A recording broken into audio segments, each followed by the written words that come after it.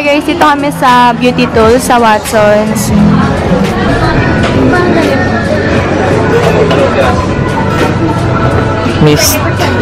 Pag yung na ano ko, ano, mabago.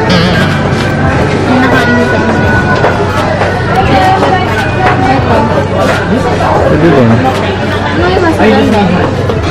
Guys, ano mas maganda? Nilala. Ito o ito? Okay. Hole ko naman. Guys, may pimple siya isa. Hindi ako to kasi hindi ako nag-skincare. Ay, mga St. Ives product, guys. Meron din pang gift dito. Ayan. Yung, ito pang travel, pwede. Cleansing stick. Halos lahat, guys, meron pang gift oh. Pang gift set. Ito sa Simple. Maganda tong makeup remover na to. Kasi hindi na siya yung ginagamit ko kasi medyo pricey. So, ayun. Boring? Ganda to. Di ba, sa Yung mga. So, yung mga nude. Yan. Ang ganda na ito. Ang soft ng ano. Ito yung may layo sa Soberan. O yung pag-focus. Inisip ko guys kung bibili pa ako nito. Sobrang ganda rin kasi nito. Nakikita ko sa mga vloggers. Ah, makeup remover siya. So, ayan. Mas madali.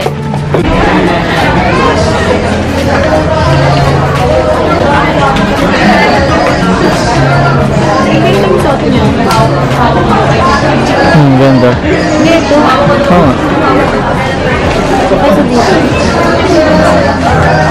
Ay, pwede.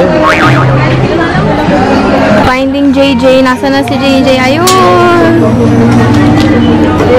Abangan nyo na lang haul, guys. Ayan, guys, mga Abone products. Ayan, oh. Ito yung mga ginagamit ko. Ayan. Watch out for my review. Nakakaputi. Guys, tapos kami dito sa Watsons. After this video, makikita ninyo yung haul ko. So, pag-uwi na lang yun sa bahay. Yan. Di na pala ako nakapag-eyelash extension. Kasi, malaki na, makapal na daw yung lashes ko. Sabi ni JJ, ayaw niya na. Yun, nag-Watsons na lang ako. Mas masaya ako, guys. Feeling ko naka 2 plus ako.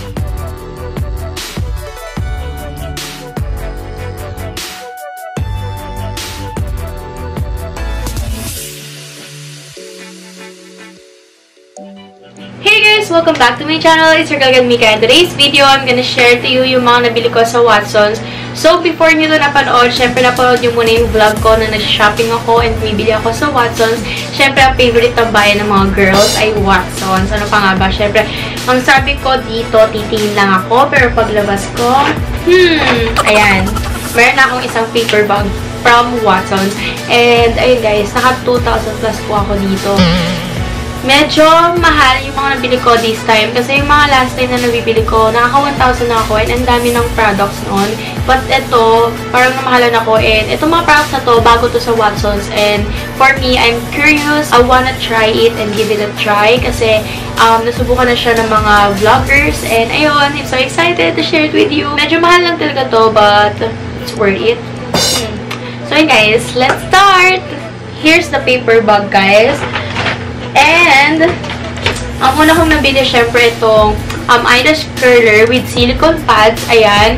Um, this is from Signature by Basic Care. Ito yung mga um, makeup tools sa Watsons.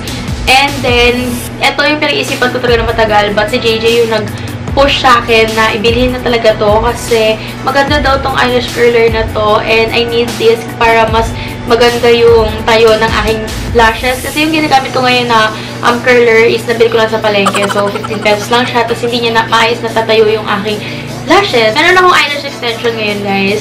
But, hindi niya masyadong halata kasi manipis lang yung pinalagay ko. So, hindi ko rin siya magagamit. It's a silicone daw. Sabi ni ate, um, ito daw yung mabili sa kanila na eyelash curler.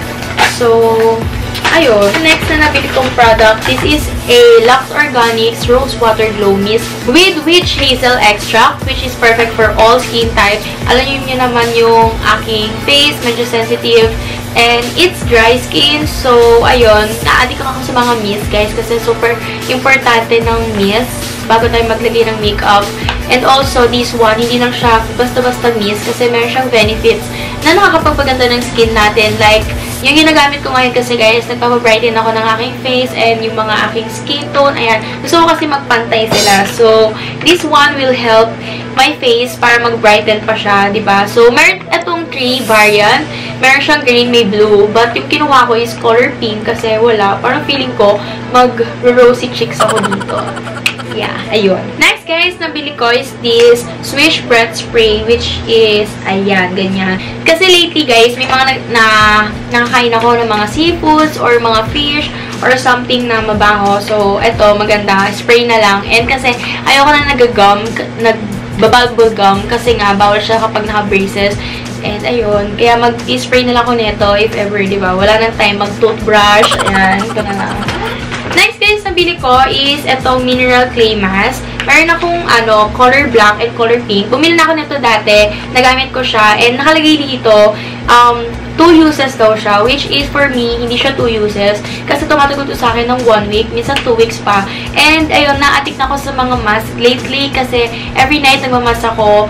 Tapos, ayun, ang ganda niya sa face. Lalo na if ever, everyday nyo gagawin na magmamask kayo.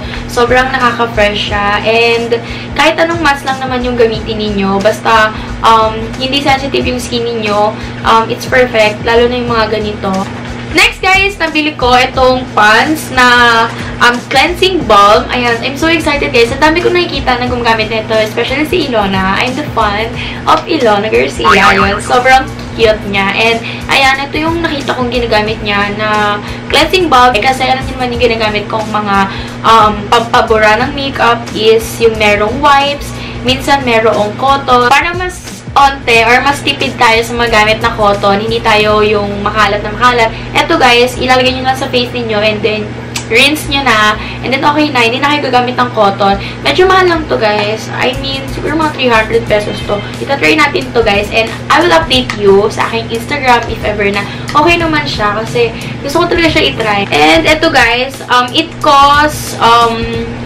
300 pesos. Ayan, itong parang silicone lang na curler. Curler ba tawag dito? Wait na. Mascara wands. Ayan. Para dito yan sa aking mascara. Ay, para sa aking eyelashes. Para natatayo ko siya. Especially sa mga naka-eyelash extension. Ayan, 249 pesos siya. Tapos naka 50% off. So, half na lang yung binayaran ko here. So, ang dami pa niya. Ayan. Hindi ko sure kung pwede to sa aking eyebrow. Pero ayun, kailangan ko kasi ng ganun. So, try natin to guys. Ayan. Ang dami niya naman ng laman. And iba't iba siyang design. So, it's good. Next guys, nabili ko is a feminine mist. Meron ako nito dati guys. Gumagamit na talaga ako nito. And color pink din. So, ayun, di ba? Importante yung hygiene natin sa katawan, especially the girls. And, um, hindi naman siya masama. Gusto ko kasi maliit lang, para travel size lang. Travel friendly, nadadala ko siya anywhere. And, kasya sa bag ko kasi magbag ako maliit lang. So, ayun, ganyan lang siya. Maliit lang siya. And then, bumili ako ng ganito, mini wet wipes. Kapag kasi minsan ayaw nung lipstick ko or merong hindi bagay sa akin na makeup, tinatanggal ko na lang siya using these wet wipes. Or, minsan ginagamit ko rin kasi to sa pagpupupo, ganun. or kaya magbiwiwi ako. Ito yung ginagamit ko. Ang liit lang niya kasi nga, um, gusto ko yung mga nagkakasya lang sa bag ko. So, ayan. Next, guys, ito, para to sa nails ko, kasi gagawin ko yung nails ko, yung sa paang. Um, bumili ako ng nail polish remover, ayan. And then, itong cheek nail color, which is 38 pesos. Color black lang kasi para classic lang. Um, ayun, common color lang. And then, for the last one, dito ako medyo shook, guys. Kasi, sabi ko kay ate, um, kukunin ko na yung Happy Skin. But this one, guys, is a liquid matte lippy. Medyo hindi ko bet yung nakuha kong um, lipstick or liquid lipstick kasi ang bilis niya mag-set sa lips ko. And kahit onti lang yung ilagay ko, onting drop lang yung ilagay ko, ang halos buong lips na talaga meron. Tapos, ang super pigmented pa niya. Kaya, feeling ko, hindi siya bagay sa akin kasi ang ng lips ko, hindi siya yung pouty na lips. So, bagay siya sa mga pouty na lips.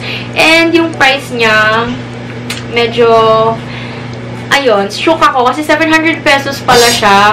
Yun lang mga guys yung nabili ko sa Watson. Thank you so much for watching this video. Hope na nagustuhan ninyo. Click the like button and subscribe to my channel. I hope to see you on my next one. Bye! Yeah! Kasi yan! Pakita ka! Hi ka! Hi ka lang! Ay, hindi ko bibili ng Barbie. Hi!